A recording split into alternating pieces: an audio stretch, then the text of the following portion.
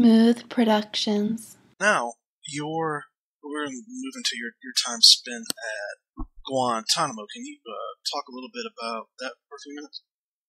Yeah, um, let me try to explain how I how I got there. Um, by the uh, by the year 2000, um, it was becoming more difficult for me physically to keep up uh, with with what is all the all that is required to uh, be an, an infantryman in the field.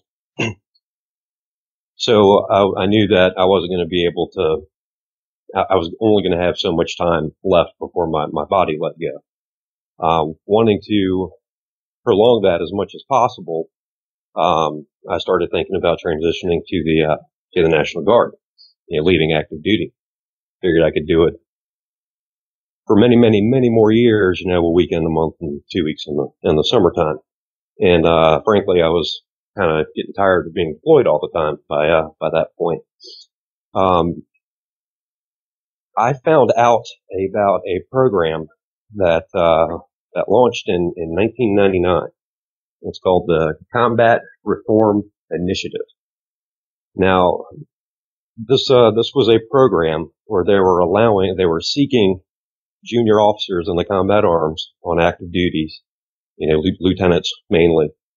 Um, they were giving, willing to give them early outs from their service obligation. Like, for example, a West Point graduate has an eight year active duty obligation.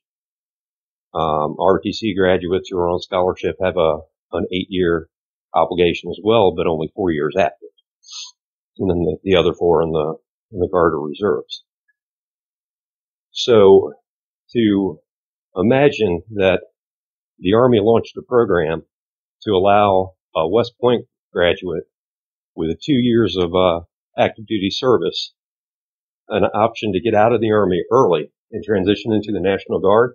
That was crazy to think that that was happening. And on top of that, the guys who were seeking it didn't have to uh, inform their chain of command. You know, they didn't have to tell their bosses they were looking to get up. They just applied for the program, and when they're, they were accepted, they show up and with their orders to leave and there's nothing the command can do about it.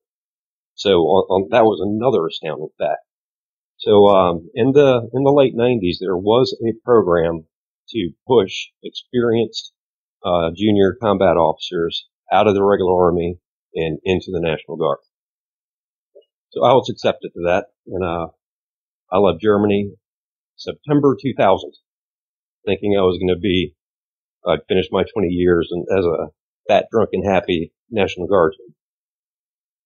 How funny for me, a year later, when September 11th happened. Um, I got, it took uh, about two months to, to mobilize. We got the first call up was uh, around November 16th, 2001. It was the wave of uh, to get guys on active duty and place armed National Guardsmen into the airports, you know, so everyone would feel safe flying again.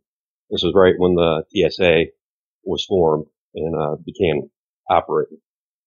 Uh, so I, I had soldiers on active duty.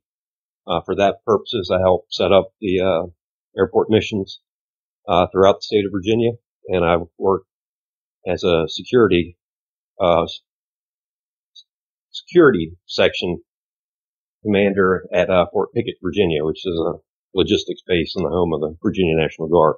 So I was plugged into the right there with the commanding general uh, who was running the, the airport mission. Um, we did that until uh, we did that for about a year. Um, no, we did that for about eight months, and then in October 2002, we got, um, and the airport mission was volunteers. And I volunteered because frankly, I really wanted to be back in uniform at that point. Um, the Guantanamo deployment was involuntary. So I was pulling, I was, I, I was in command of a National Guard Company, Company C, 2nd Battalion, 116th Infantry out of Harrisonburg, Virginia. It's where James Madison University is. Uh, I was pulling kids out of college. I was pulling, uh, you know, guys who had been in the guard for 15 years and never thought they would ever get deployed, you know, away from their families and their, and their jobs.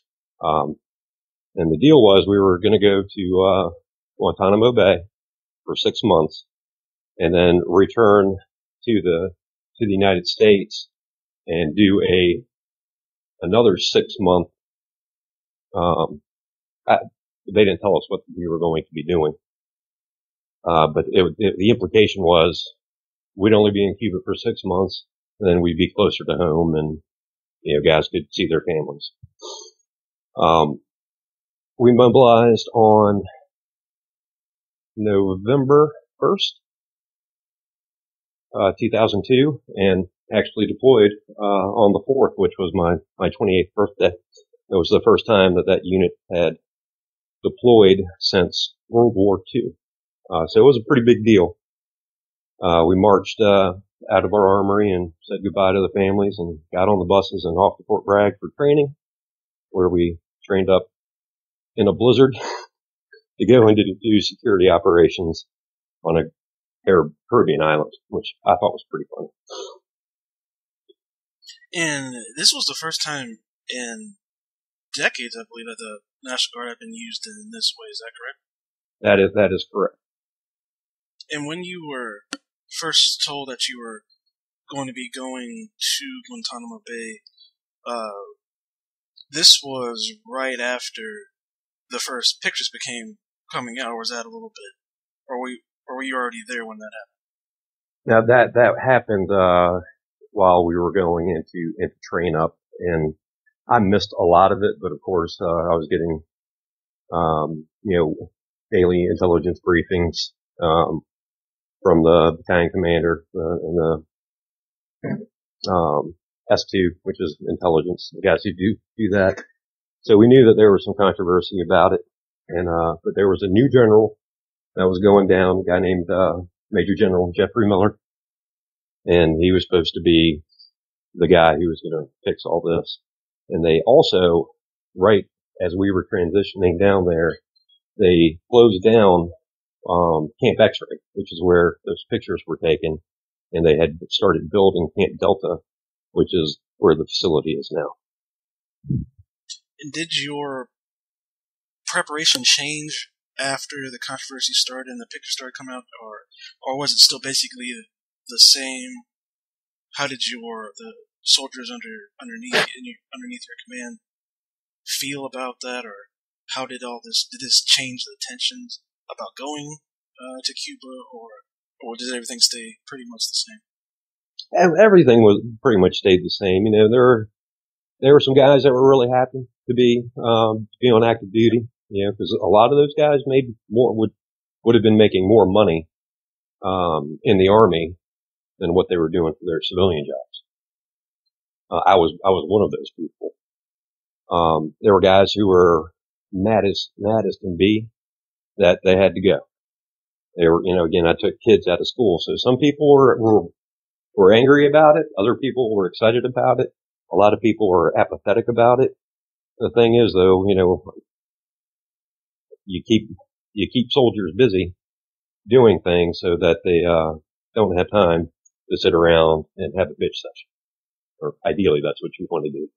So when you say you, you took kids right out of college, were they were they they had not yet graduated, but they were in ROTC programs, or how did that? No, they they were. Uh, you can you can enlist in the National Guard at a high school, and uh, and go to college, and they will pay for college.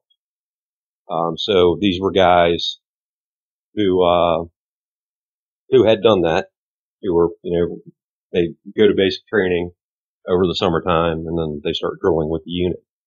Um, and there were other guys. The if they were uh, in one of the first two years of ROTC, they were not under an army contract yet, so they were technically in the guard. So they came, but uh, year three and year four ROTC cadets were their ROTC contracted uh, preempted, uh, their National Guard contract. So they stayed home.